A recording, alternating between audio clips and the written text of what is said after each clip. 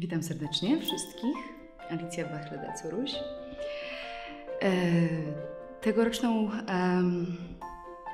orkiestrę świątecznej pomocy zdecydowałam się wesprzeć czymś troszkę e, może nietypowym. Nie mogłam e, się zdobyć na, na podarowanie jakiejś starej sukienki al, albo czegokolwiek innego znajdującego się w moim domu.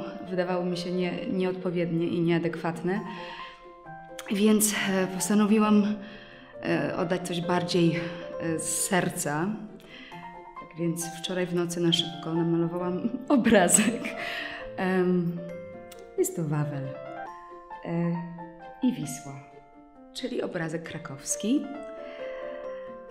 No, no cóż, niewiele o, tym mogę powiedzieć. Oprócz tego, że, że faktycznie wydał mi się adekwatny do okazji, a tym samym chciałam Państwa zachęcić, żebyście nie tylko uczestniczyli w, w aukcjach, nabywając różne przedmioty, ale też można zastanowić się, czy, czy na przykład nie można by było czegoś podarować od serca i z sercem. Więc e, wszystkich bardzo serdecznie zapraszam i e, życzę wszystkiego dobrego.